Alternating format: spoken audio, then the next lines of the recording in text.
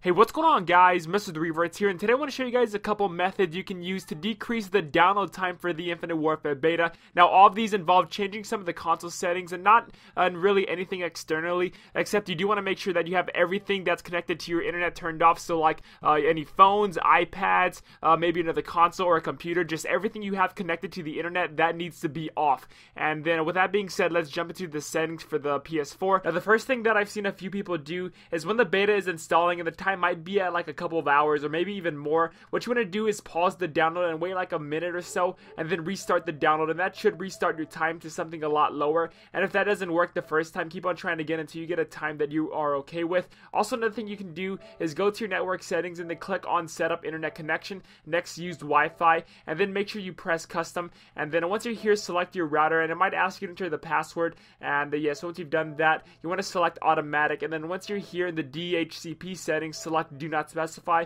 and then on the DNS settings press manual and then change your primary DNS settings to 8.8.8.8 so 4.8 and then for the secondary DNS settings you want to change that to 8.8.4.4 so 2 8s and 2 4s and then click next. And then you want to change the MTU settings from 1500 to 1473 I'm pretty sure all your consoles are going to be at 1500 just make sure you change that to 1473 and then next for the proxy settings click do not use. And then uh, you want to test your connection once you're done. And uh, yeah that should make the download time a lot faster. And if you guys didn't know by now, the file size for the Infinite Warfare beta is coming in at 19 gigs. It's uh, actually not that bad to be honest, uh, but the uh, Black Ops 3 beta was 15 gigs. I'm pretty sure the Infinite Warfare beta is going to have a lot more content. I'm actually, I'm 100% sure that it's going to have more content considering that it's a larger file size. So yeah, guys, if y'all want to come back to my channel, I'm going to be uploading more Infinite Warfare beta uh, videos for you guys, like uh, how to rank up fast, and any, any more tips and tricks that I have for the beta. I'm going to be covering that for you guys on my channel, so come back here. Also, guys, drop a like on the video if you guys did enjoy,